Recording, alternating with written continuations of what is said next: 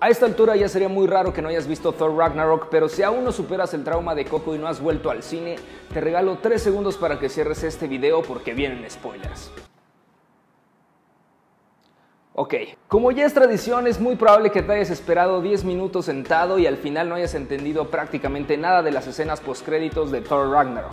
No te sientas mal, a menos de que vivas en el sótano de tus papás y tengas cómics pegados en las paredes, es normal. Por suerte aquí estamos los Hunters para explicarte todo lo que tienes que saber en dos minutos. Aunque parecen un simple chiste como el 80% de la película, las escenas postcréditos de Ragnarok tienen información relevante porque todo indica que suceden minutos antes del inicio de la próxima película de Avengers, Infinity Wars. En la primera escena vemos a Thor y Loki decidiendo llevar a los Asgardianos a la Tierra cuando de repente se encuentran contra una nave mucho más grande. Esta nave probablemente es la nave de Thanos, el supervillano de todo el universo cinematográfico de Marvel que por fin aparecerá en Infinity Wars. Ahora, si eres de los que tampoco les gusta ver los trailers por miedo a los spoilers, también te recomiendo que cierres este video porque viene un mini spoilerception o sea, un spoiler dentro de un spoiler. Según las descripciones de los suertudos que pudieron ver el tráiler de Infinity Wars en la Comic Con y que probablemente saldrá muy pronto, al inicio aparecen los Guardianes de la Galaxia volando sobre restos de una nave destruida cuando de repente un Thor inconsciente se estrella contra ellos. Esto significa que Thanos probablemente atacará y destruirá la nave de los Asgardianos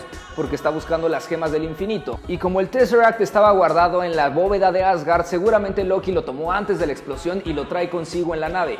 Incluso podría ser el propio Loki quien avisó a Thanos dónde estaba la nave de Asgard porque él le debe el Tesseract a Thanos según películas anteriores. En la segunda escena vemos al gran maestro, alias César Bono, tratando de convencer a los rebeldes de que la revolución fue un empate para que no lo maten. Esta escena sí parece ser simplemente un chiste, como un epílogo al personaje, aunque no sería descabellado que lo podamos ver en próximas películas junto al coleccionista. Si aún así no entendiste casi nada de lo que dije en este video, te dejo en los comments un link de otro video donde explico todo el universo cinematográfico de Marvel para gente normal. Mientras tanto, ya quedó tu dosis de virginidad.